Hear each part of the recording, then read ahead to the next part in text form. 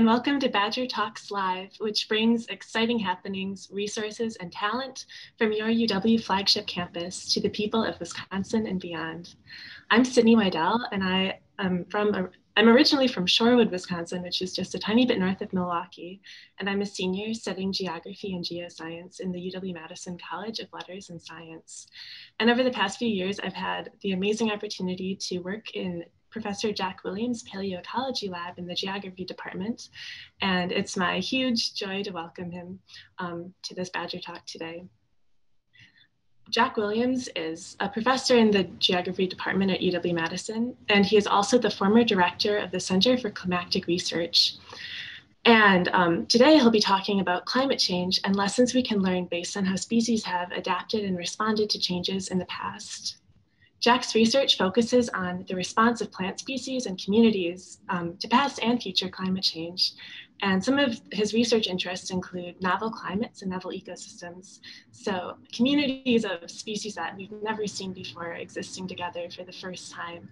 Um, and he looks at communities and climates from the last deglaciation as a model system for understanding how climate is changing today. Um, some of Jack's recognitions include the Cooper Award for e from the Ecological Society of America, the Phil Certain Distinguished Faculty Award and a Romnes Fellowship from the University of Wisconsin-Madison, an Aldo Leopold Leadership Fellowship from the Stanford Woods Institute for the Environment, and the fellowship from the Durham University's Institute for Advanced Study. Please welcome Jack Williams. Great. Thank you so much, Cindy. It's really an honor to be introduced by you as well. It's been such a pleasure working with you over the years.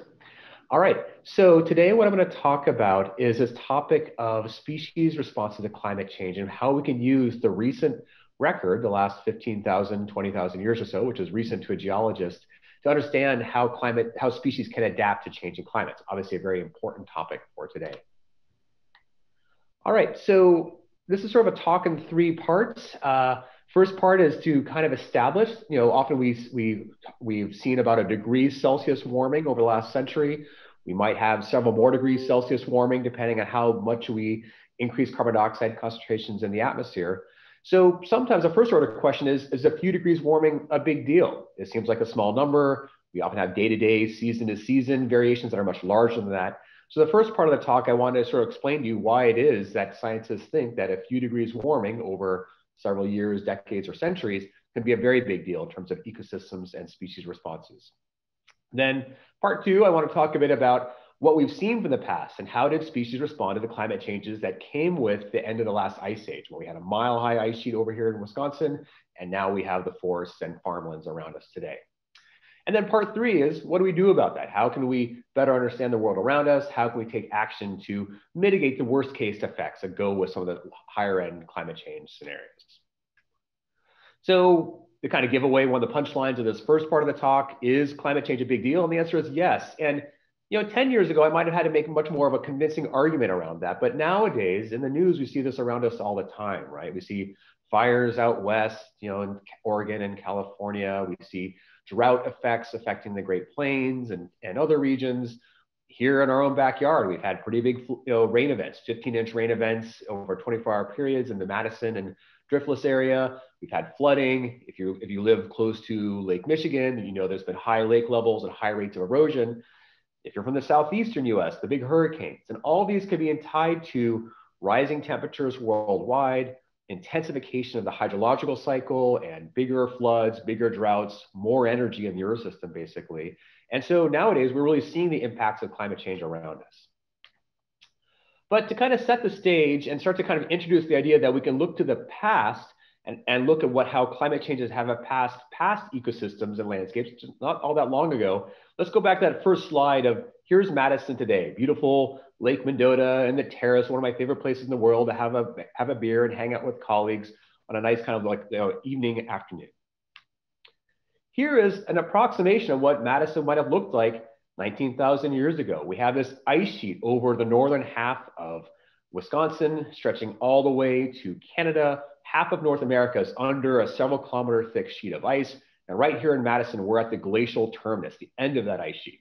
This is obviously not a photo of that ice sheet over Madison. This is from a glacier in Iceland, but it's kind of an analog of what we might have expected, minus the mountains, Wisconsin to look like 20,000 years ago. And you can see that little inset map there and that little dashed line there. That little red line in the inset map is both the former edge of the Laurentide ice sheet and is also the Ice Age Trail, a great place for hiking and, and, and walking Wisconsin's landscapes. But one of the key takeaways here is that that, that mile high, several mile high ice sheet sitting over North America was triggered by a global cooling of about six degrees Celsius or about 11 Fahrenheit colder than present. So not that big a number puts a multiple kilometer mile high ice sheet over half of North America. Here's North America 14,000 years ago. We have now extinct animals like mammoths and camels and giant ground sloths and other animals living in Wisconsin landscapes. Farmers regularly, you know, when they're when they're trenching their fields, they'll pull bones out. And we have some great examples of mastodons in our own geology museum here in Madison. This is also the time when uh, the first humans arriving in the Americas 14 to 15,000 years ago. You can kind of see this kind of boggy landscape. And at this point, we have this kind of boreal, tundra, open kind of ecosystem like you might find in northern Canada today. And these are the landscapes in southern Wisconsin, with the world only cooler by maybe a degree and a half, or maybe Celsius, or maybe three degrees Fahrenheit. Now, to really zoom out, now we just kind of, and that, everything I just showed you was maybe 20 to 15,000 years ago. But now what I'm gonna do is we're gonna go kind of full sweep of geological time. And this is a figure that's got a lot of information in it, but it's also a really important one. So let's kind of walk through it. The vertical axis is changes in temperature. So, um, and it's all relative to today. So positive values would mean past times that were warmer than present. Negative values mean past times that were colder than present. So we can see kind of global temperature here. And then the time axis goes from, uh, let's see, I lost my mouse there. It goes from lower left at 60 million years ago before present, and it go through, you can go through 60, 40, 20 million years ago. We then go through a scale change. We go to 5 million years ago, 1 million years ago. We go through another scale change where we go through hundreds of thousands of years. Ago. We're kind of doing like an accordion of the, of the geological time scale. Since we have, we have to go through so much time, we kind of zoom from longer time scales to shorter time scales as we get up to present. So when you look at this, what you see is that 60 million years ago, which basically is the, when dinosaurs went extinct, the world was warmer by about 10 to 15 degrees Celsius. And that the big story over the last 60 million years has been a long-term cooling of your system from a greenhouse state of the climate system to the what we sometimes call the ice house state. Then over the last several hundred thousand years, we've had these regular glacial interglacial cycles, these ice ages, these interglacials, these cold and warm periods going back and forth um, over and over again. If you notice that um, blue bar up there, that's how long we as humans, Homo sapiens, have been around as a species on this planet. So we have been around for the last 100 to 200,000 years. And so our own history of what we've experienced as climate change has been during these glacial interglacial cycles, these past cold and warm periods. Um, so here we are, and here's these glacial and interglacial cycles. Now, the time period that I do the most work in is the last 20,000 years, kind of shown by that red bar there, where we go from the last ice age, uh, we had about five degrees colder than present, and then we have this warming, we come out of the last ice age, and then we hit a period of relatively stable temperatures over the last 10,000 years. And if we think about where we are today, where we might go over this coming century and centuries as we add more greenhouse gases to the atmosphere and warm the world, you can see that we start to rewind the climate clock by millions of years. You have to go deeper and deeper into geological history to find climates kind of like we are experiencing or may experience over the coming decades. And we are moving to climates that are outside our human experience, out of our, out of our societal experience, because remember, all of our agriculture, all of our food systems developed over here during the last five to 8,000 years. Um, but we are going increasingly to deeper time geological analogs for the climates of the future.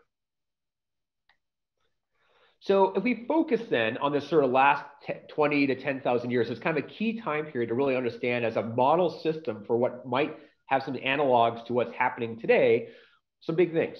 First, global temperatures rise by about five degrees Celsius, maybe 10 degrees Fahrenheit, give or take. Ice sheets collapse. We have large ice sheets across the Northern Hemisphere. I mentioned those ice sheets over Madison. Now we see sort of the Northern Hemisphere perspective of ice sheets across North America, across Eurasia, and contrast that with today, right there, the recent past, in which we have just ice over Greenland and you know melting ice now over the Arctic Ocean and so forth. All that water that used to be in those ice sheets went into the world oceans as that ice melted. So at the same time as all that ice melts away, sea level rises by about 120 meters or about 400 feet. That's a lot of sea level rise. And not coincidentally, at the same time, the carbon dioxide concentration in the atmosphere go up from about 190 parts per million in the atmosphere to about 280 parts per million in the atmosphere. And we think that's a major, one of the big, big reasons for the temperature rise we see coming out of the last ice age. So just thinking about that sea level part alone, you know, here's a here's a nice view of what the world would have looked like 20,000 years ago. You can see those ice sheets again in the white areas. Then notice the light brown versus dark brown.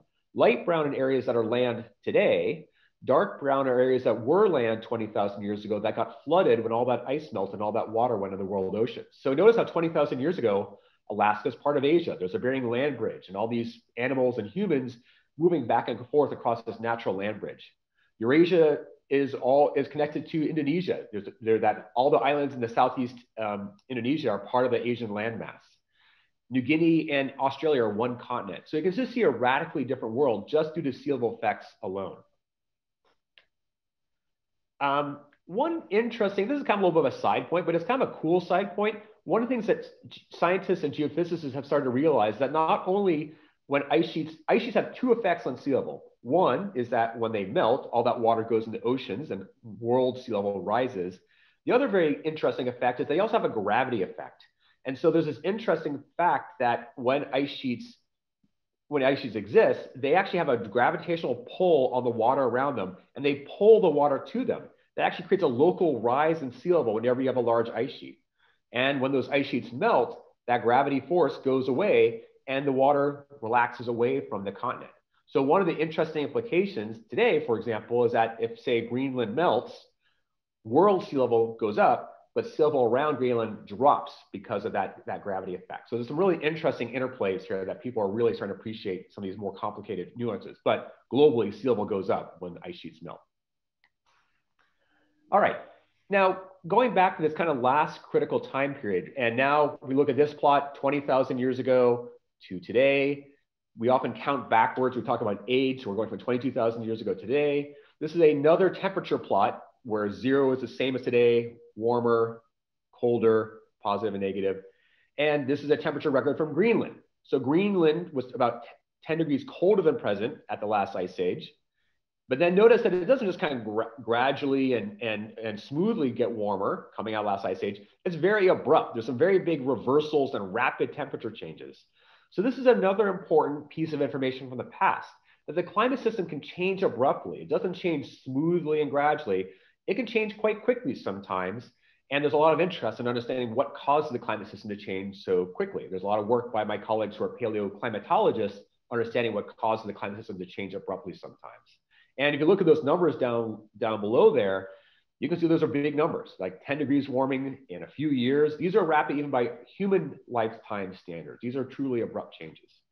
As an ecologist, what I'm more interested in is how do species adapt to and accommodate these kinds of abrupt changes? Okay, so that's just kind of a, an overview and picture of some of the key features of the past and how it's changed from the last ice today, last ice age to today, and as a kind of model system with some interesting parallels for what might happen around us going forward. So how do species accommodate and adapt to those past climate changes? Well, a quick aside into methods. A lot of the work that my lab does, the kind of work that Sydney does, um, is, is working with lake sediments.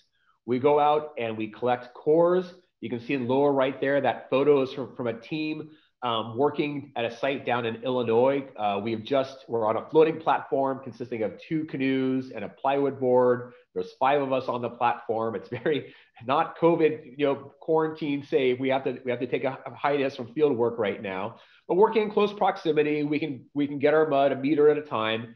And a rule of thumb around here is that the lakes are accumulating mud at the bottom of these lakes about a meter every thousand years. So if you've ever fished Lake Mendota or the other lakes around here, and these lakes have been around for about 14,000 years, there's about 14,000 meters of mud below you, or about 40 feet of mud, representing 14 to 15,000 years of accumulated history. So all these things wind up in these lakes. Pollen blows into these lakes, and so we can tell what kind of plants used to live around these lakes. We can get radiocarbon dates to figure out how old the, the, the sediments are.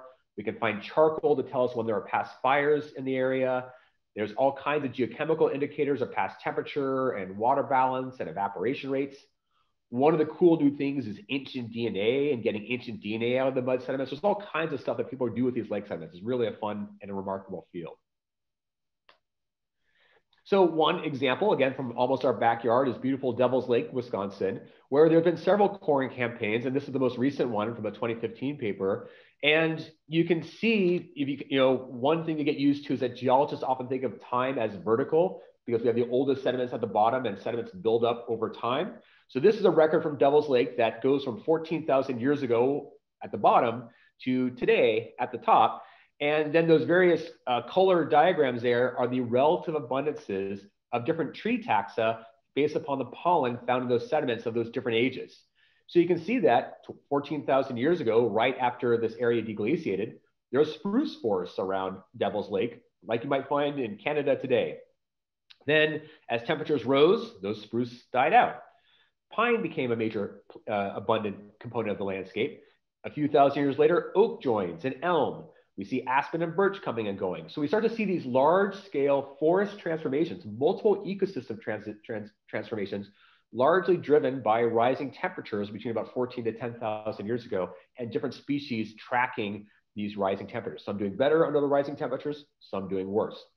We can also look at the fire history. That's a whole other talk for another day, but just kind of making the point that at this one site, we have a pretty detailed knowledge about the kind of ecosystems around these sites and how that's changed over time.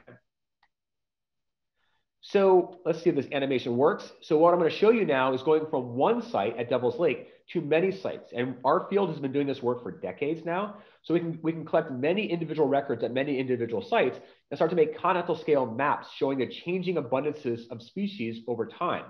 Uh, you can see upper right there, this is work done by Anna George, is one of my master's, now PhD students, who's made these really beautiful animations. And what we're gonna do as I start the animation in a moment here, if all goes well, we're gonna look at four taxa. Picea in the dark green is spruce, red Poaceae is grass, oak is quercus, and hemlock is Tsuga.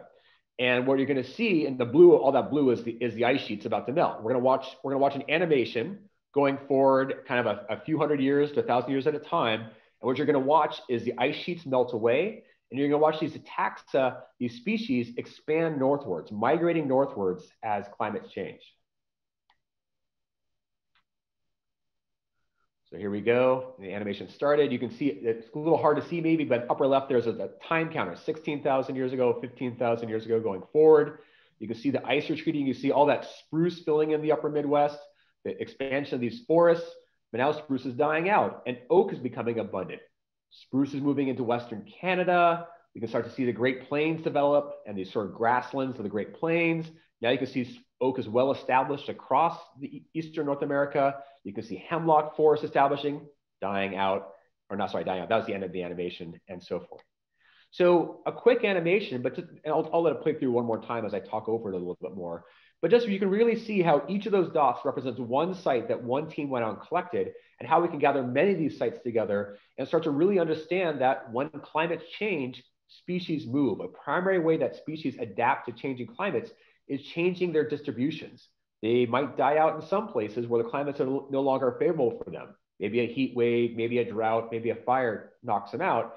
But then they can also establish into new areas and start to colonize new terrains. And so one of the key challenges for ecological management in this era of changing climates is helping species move, helping species ecosystems transform as the world changes around us.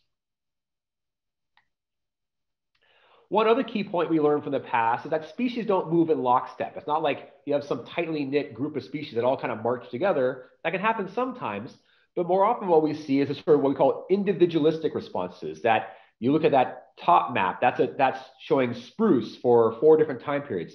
Spruce has a fair, fairly simple story of expanding northwards. As the ice melts, it expands northwards, its southern populations die out. That's what we call a leading edge and a trailing edge of expansion at the leading edge and dying out at the trailing edge.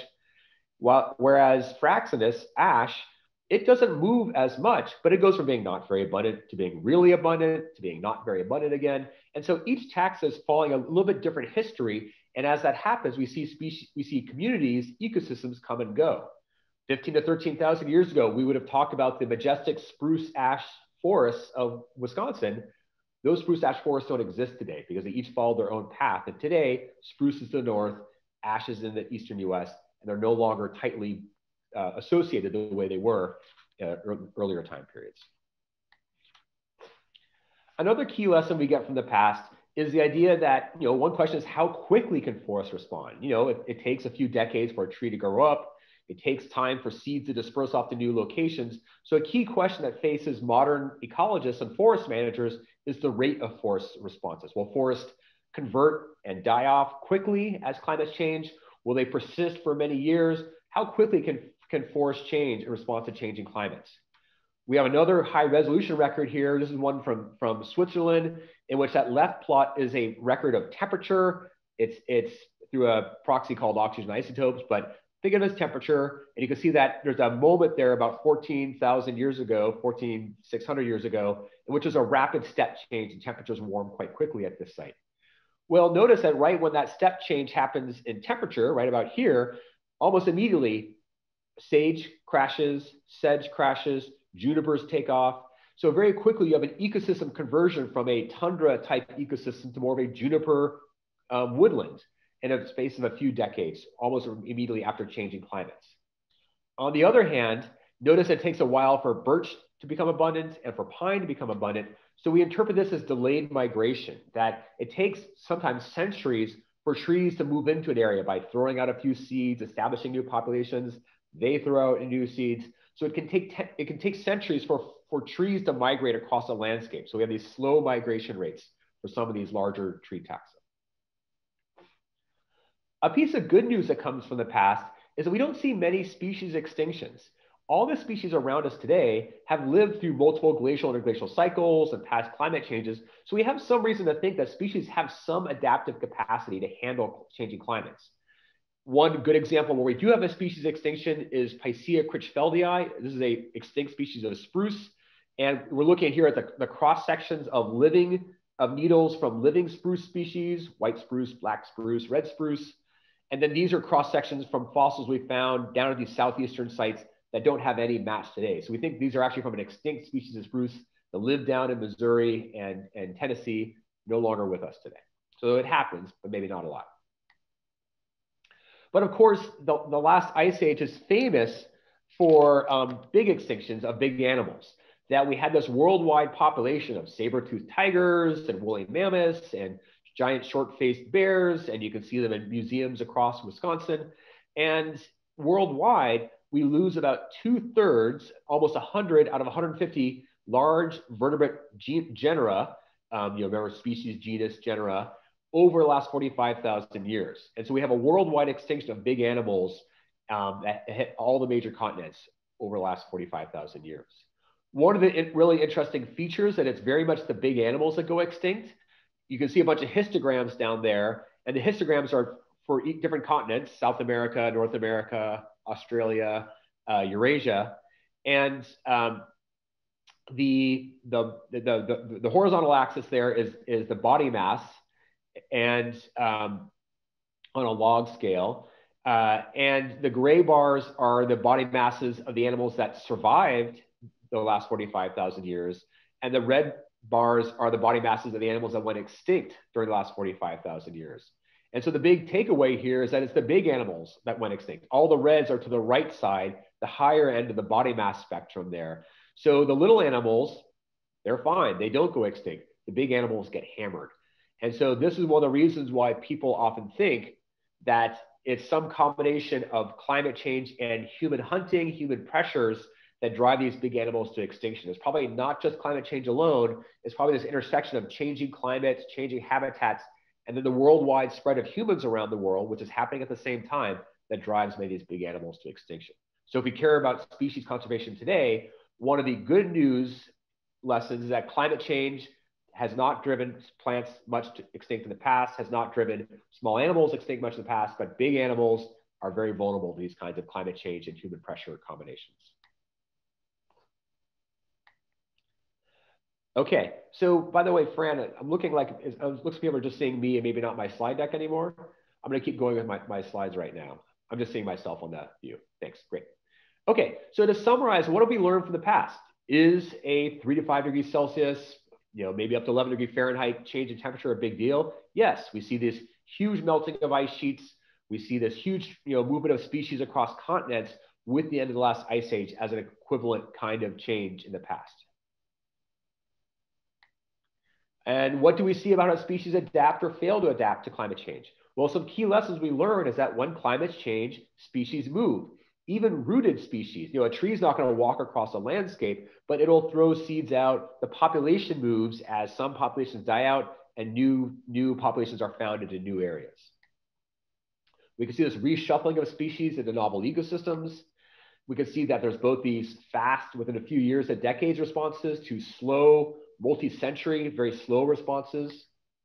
And we can see that extinctions are rare for some groups of taxa, like plants and small, small animals, but then common, unfortunately, for other bigger animals. So there's a difference in vulnerability.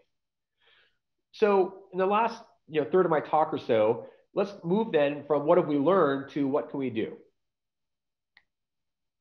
Well, you know, this is a, a challenge, right? As Matt, uh, you know, anyone's seen The Martian and Matt Damon, one of my all-time favorite, um, you know, uh, science movies. You know, Matt Damon's stuck on a on a, you know, all by himself on, on the Martian planet. And he's like, well, I'm gonna have to science the stuff out of this. And he's got to really come up to solutions here. And that's, as a scientist, that's one of the first things I always think about. As a scientist, how can we bring better discoveries, better knowledge to bear on solving societal problems? So one of the goals is to how can we bring all of our available data and knowledge to bear on building improved forecasts for the future. One of the kind of hot topics right now in ecology is called ecological forecasting. Just like you have weather forecasters who make predictions about the weather will be like over the coming days to weeks, ecological forecasters are trying to provide policymakers and citizens and, and uh, land managers with ecological forecasts about how a, a, lake, a stream, a forest will behave over the coming days, weeks, years, different timescales for different systems. But again, to sort of building better predictive capacity for decision making. To do that, you use models that make predictive forecasts and those models need to be tested against and constrained by data. And the part of the work that I do the most on is the data providing. How do we gather these many observations of the past and the changes in the past, the changes around us today to inform and better constrain and test these models? You can see that I've got that time scale of all the climate changes of the last 60 million years at that top left plot. You can see the bottom left maps of showing how we see these large ecological responses of the last 20,000 years this is really important information to bring to bear for testing and developing and refining these ecological forecasting models for how they predict future ecological responses to future climates. And you know, I think one of the messages of exciting, exciting work is that this is an era of big data right now, that there are so many ecologists around the world collecting so many different kinds of observations that the challenge for us has always been how do we gather, organize, and gain insight from these many observations by many scientists from many parts of the world. And so one example, this is GBIF, the Global Biodiversity Information Facility. Every dot there represents some spot where some scientist has taken some observation of some set of species at that location. So we can start to get um, understandings of where species are found, what areas are more diverse or less diverse. We can start to understand how you know climate or other factors uh, regulates the abundance and diversity of organisms on the world. Um, Another area, an example, are the eddy flux towers that measure the exchange of carbon dioxide between the land surface and the atmosphere. So as we put more carbon dioxide in the atmosphere, the plants are taking some of that back down from the atmosphere and you know they're growing more leaves or growing more biomass. And so we have these networks of eddy flux towers that are measuring how the terrestrial biosphere is exchanging carbon dioxide with the atmosphere and how that's changing over time. We have a set of sites in northern Wisconsin. Ankur Desai is a colleague in atmospheric and ocean sciences. And he's, you know, he's got a project Cheesehead working in northern Wisconsin right now, looking at these exchanges of carbon dioxide with northern Wisconsin forests and wetlands and the, and the atmosphere. There's all kinds of great citizen scientists. Anybody with a phone can go out and take photos of the species they see around them, and they can upload them to iNaturalist and get identifications of, oh, that's this salamander or that flower or that insect. So iNaturalist is a great tool for citizen science and observing the world around you. Project Budburst to understand the timing of when seasons are changing and when plants are leafing out or birds are migrating and how that's tied to the changing environments around us. And then the piece that I bring to this context, my, my, my community brings this context, with a lot of us working on this, is gathering together these records of the past, a resource that we call the Neotoma Paleoecology Database. That's an open resource that anybody can use it. Anybody can put data in, anybody can pull data out. It's community curated by experts. So we have some standards of data curation and data quality and, and taxonomic name harmonization so that we have some, some quality and consistency to our records. And it's available for anybody to, to, to study these kinds of climate changes in the past.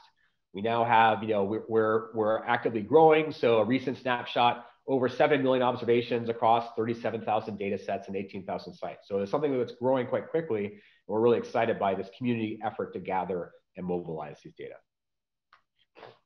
So, okay, that's the science side, and that's great. There's lots of important stuff that can be done there. But as citizens, what can we do? And so, one important lesson is that rates of change are really important. That species can adapt to climate change, and they have adapted to past climate change, but rate matters. If it's too fast, they can't keep up. So, rate controls adaptation. So, what we can do then, we have several options we can slow down or ideally stabilize the rates of climate change and climate system. That's where things like the Paris Accord are important, or other ways of limiting our, our greenhouse gas emissions from fossil fuel burning and you know moving to uh, you know clean you know renewable energy sources. That's important because that buys that slows down the rate of climate change and that buys more time for species to adapt. We could try to accelerate rates of ecological adaptation we could help species migrate. We could help species evolve in response to changing climates.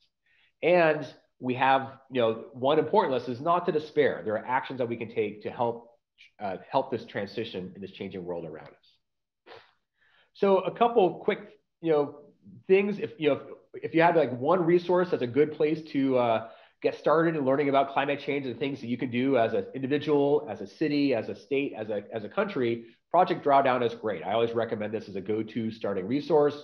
Some of the important things that come from that is talking about climate change, having conversations about what can we do to uh, make things better.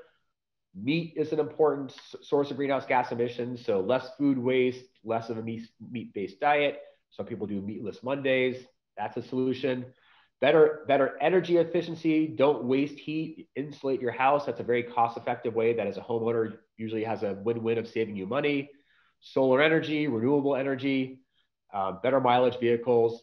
And in this era, to be really clear, I'm not recommending any vote for any political party, but it's important to hold your elected leaders accountable and say that climate change is an important issue to you. So I am sort of, I would say, you know, advocating for an issue as opposed to a particular set of candidates. Um, and in this, that's on the, the slowing down climate change side of things. On the um, accelerating adaptation, one of the things that is people are thinking a lot about these days is managed relocation or assisted migration, helping species move from places that are becoming less favorable to them as climate change or sea level rises, and to places that are becoming newly favorable for them. This is really important, for example, for endangered species like this little New Zealand bird that has only, only a few patches of habitat that it lives in today, but there are other patches that might be suitable for it. So helping it relocate and colonize into new areas is, a, is an, an important adaptation strategy. Um, also, you know, this has been happening to some degree accidentally for some species. Magnolia is, is a beautiful tree. I have one in my backyard that is native to the southeastern US, but because it's an ornamental that maybe pe many people plant in their backyards, it's now escaped from those backyards into the forests of New England, well outside its historic range, but probably helping the species adapt to the warming climates and, and expanding into areas that would have t- probably taken centuries to get there on its own, but has been given sort of an accidental but helpful boost by people uh, uh, planting that species in their area. And then one of the areas that's, uh, you know, it's just at the kind of the, the ground floor, but I think it's going to be increasingly important, is this idea of assisted evolution. Crossbreeding individuals like corals. Corals are getting hammered by climate change right now. We've had some really losses of coral bleaching, widespread losses. So can we find a subset of individuals that are most resilient to heat stress and heat shock and help them uh, evolve, you know, sort of seed the next generation of more heat resistant corals and or you know transplanting corals. You can help corals migrate and relocate as well. And so again, in summary, this point about don't despair, we have this transforming world around us. It's disorienting and it's challenging, but we can take effective action. We know that species have survived many past climate changes. We have this ever expanding uh, breadth of knowledge thanks to research universities like UW-Madison around the country, around the world. And we see evidence of adaptation certainly happening in the past and happening today. And there's ways we can assist this process. So I'll just kind of close here by thanking you for your time and attention. And I also just want to thank um, Fran and the Badger Talks group for putting this, this, this series on. I think it's a wonderful idea. And the work I've shown you really represents decades of e effort by lots and lots of people. So I'm thanking here both people in my lab, um, thanking people involved with the Neotoma database. That's the source of a lot of the maps I've shown you over the last over this talk. And there's really drawing upon a broader community of many paleoecologists working around the world to understand past climate and ecological dynamics and give us this knowledge for ma making a better future. So thanks all. Happy to take questions.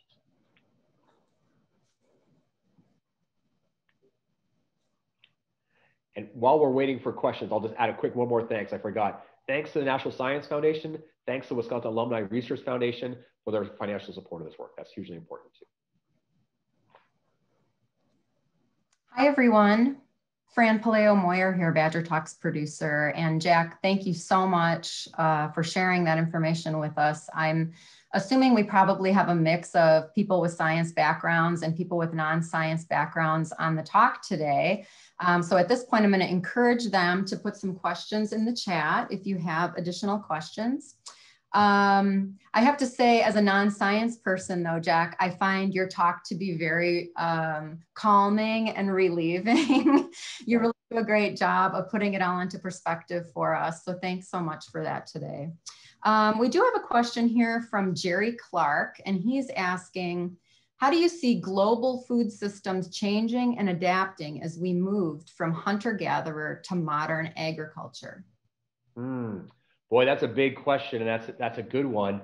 Um, I mean, yeah, you can look at the broad trajectory of moving from hunter-gatherer to more pastoral societies, to low intensity agriculture, to high intensity agriculture, to the modern food systems, right? Very mechanized, you know, very industrialized.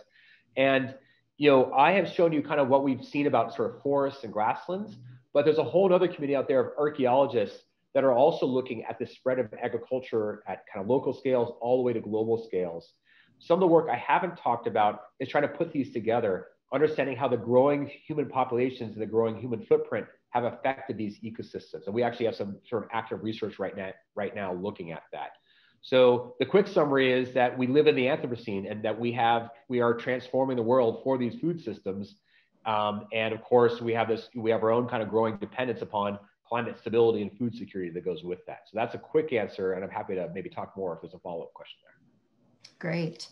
And uh, hey, that range mapper was a really cool tool. That really, um, again, gave you a sense of, you know, the vast amount of time that you're looking at and the change there. So shout out to Anna George, your student. Um, I know that you spent some time working um, in studying mammoths. Can you, like, in a very brief snippet, just talk about your work there? Yeah, happy to. And before I dive into that, let me just also give a shout out. One of the great things that's being in the Department of Geography here at Madison is that we have a great group of cartographers, people who specialize in making these beautiful maps and thinking about how to make them accessible to people. So it's been a really fun project having scientists like myself team up with map makers and cartographers to make these kind of next generation really cool maps. So that's been super fun. Um, yeah, so on the mammoth side, we did a fun project a few years ago. We went to a little island in northern um, in the northern Pacific that used to be part of that Bering Land Bridge. Remember that big dark brown area that connected Alaska and and Asia? There's an island there that used to be part of the Bering Land Bridge that became isolated. It became an island when sea level rose, and a small population of woolly mammoths got trapped out there on that island. But amazingly, that woolly mammoth population is the second oldest or second most recent surviving population of mammoths. Both mammoths went extinct at the end of the last ice age, about 10,000 years ago. That population lived until about 5,000 years ago. And so at the time of early agriculture in the Fertile Crescent in the Middle East, there's still mammoths living on this little island in the North Pacific, which is just amazing. And what we did was we established from our lake sediments and our ancient DNA work and our pollen work, we established a time of extinction of 5,600 years ago. It's a very precise time of extinction. And we have some hypotheses based upon our data that it was actually freshwater loss on that island that drove that, that population extinct. So we think that population was not killed off by humans as far as we know. We think it actually ran out of fresh water, which is kind of a sad end for that population. But it's also a story of resilience that a little island could support a breeding population of mammoths for many, many thousands of years on its own. So that was that part of that project. Very interesting. And with regard to freshwater supply and the implications of climate change for us, is that something that your group is studying as well, or who, who's studying that? Yeah, it's a great question. Um, and it's, of course, you know, lots of people are studying it from lots of different angles. You have people who are water resource managers, manager looking at the Great Lakes or groundwater supply. Um, the part, the angle that we've taken looking at that is looking at past droughts and the degree to which we've had collapses of tree populations or forests due to past droughts.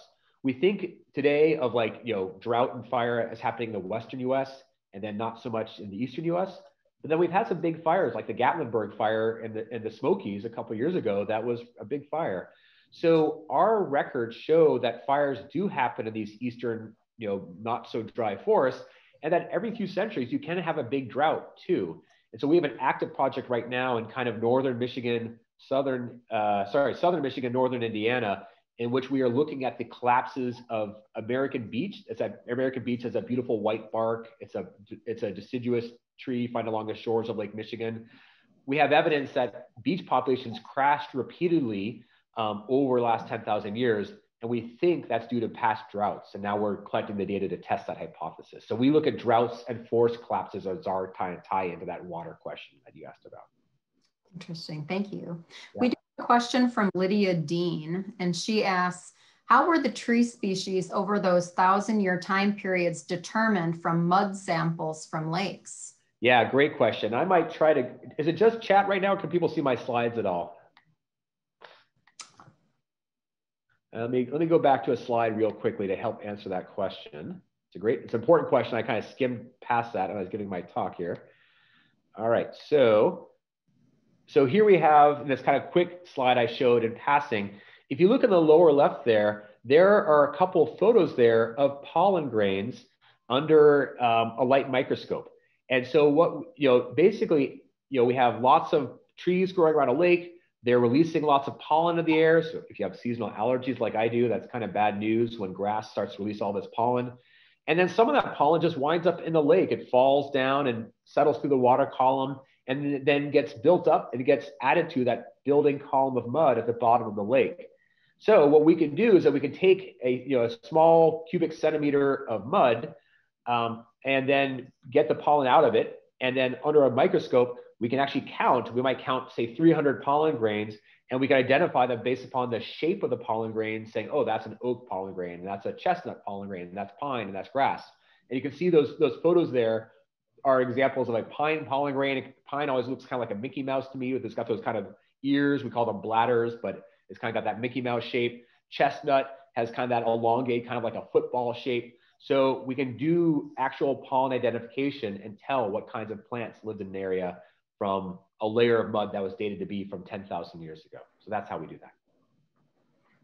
Great. Thanks so much, Jack. Well, I think that wraps up the questions for today. I just want to thank you so much for joining us and talking about this important work. And thanks for the work that you're doing um, on all of our behalf. thank you, Fran. Really glad to do it and glad to share this. Thanks for, for, thanks for your time and attention.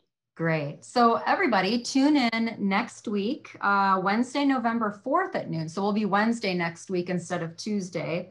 And Professor Steve Ackerman is going to be joining us, and he's going to be talking about the SS Edmund Fitzgerald, which was an American Great Lakes freighter, as you're probably familiar, that sank in Lake Superior in a storm in 1975. And the entire crew of 29 perished. And Steve will be talking about the disaster one of the best known in Great Lakes shipping history. and how it related to the weather conditions at the time, as well as the song by Gordon Lightfoot, which I'm sure many of you are familiar with.